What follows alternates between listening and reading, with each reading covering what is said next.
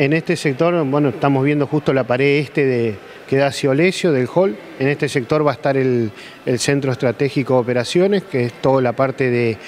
de, monitoreo y eh, administrativa, junto donde van los, los software que, nosotros resguardamos.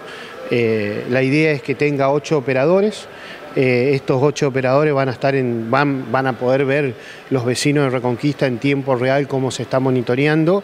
y van a poder observar también eh, los distintos puntos que, vamos a estar controlando de la ciudad. Así que sí, en este sector va a estar.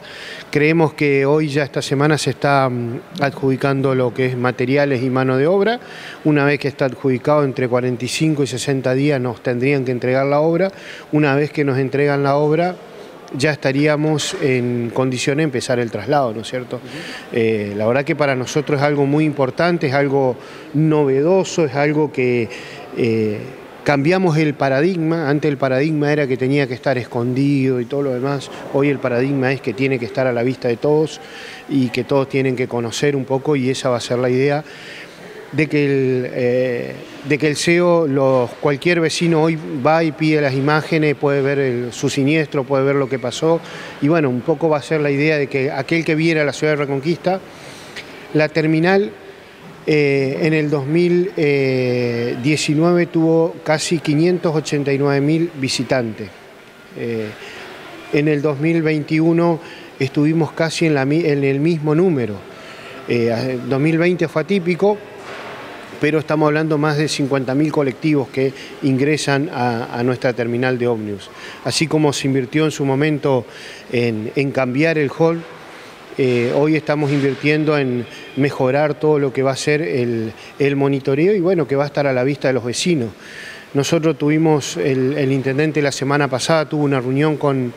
eh, con el ministro de Seguridad de la Nación,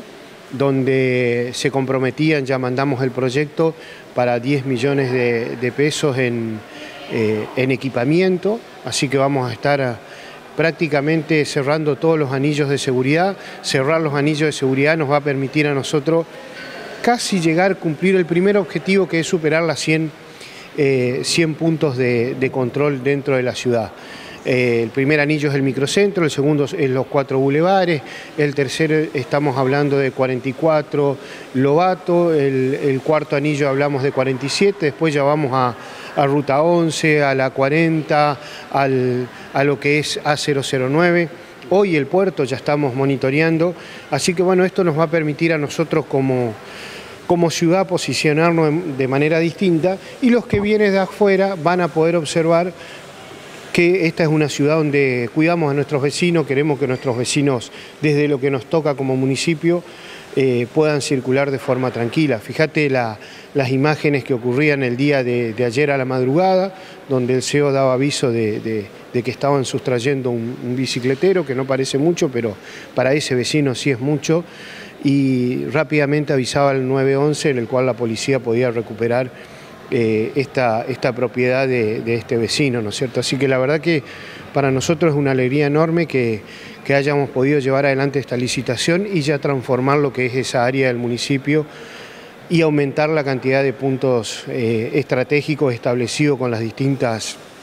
fuerzas de seguridad para que se puedan controlar. Un golpe de efecto, digo, para el que el vecino que venga a la terminal, digo, a la vista de todo esto, bueno, vos ves cómo se está monitoreando, que es verdad, digo, que se está monitoreando este, gran parte de la ciudad. Sí, la verdad que sí, nosotros eh, pudimos completar lo que yo le llamo el escudo norte, toda la parte norte de la ciudad ya, con el monitoreo, con estos primeros dos millones que, logramos que, el Ministerio de, Seguridad de la Nación nos, nos otorgue, ya lo estamos monitoreando y ahora con estos otros 10 millones vamos a establecer ya un monitoreo prácticamente de toda la ciudad y bueno, hoy estamos